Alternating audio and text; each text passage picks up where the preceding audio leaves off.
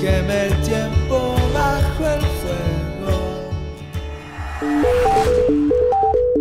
You kissed a Mexican spick?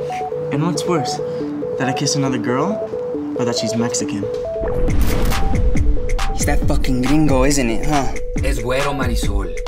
Nosotros somos de Sonora, Marisol. They're not like us. They're not going anywhere, are they, Dad? So might as well get used to living with them. Dad? Oh. Hi. Hello.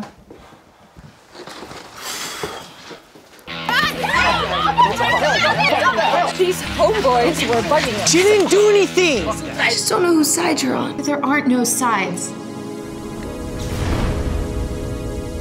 I just want to talk to Marisol. Vas a hacer que te maten, cabrón.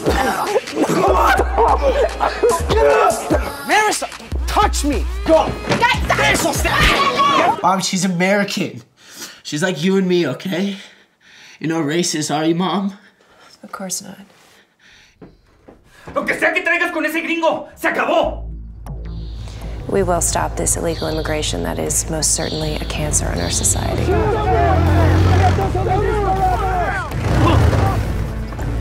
You're a racist. No, you're the one who doesn't get it. Run around with that goddamn Mexican, missing practice. You may not give a shit with your fucking football scholarship, but what about the rest of us, huh? And you're gonna fight against us? No fucking way. Ready? Hell yeah.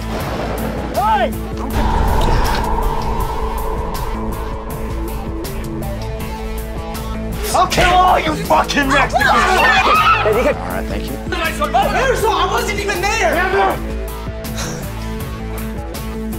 You're not going anywhere! couldn't live without you.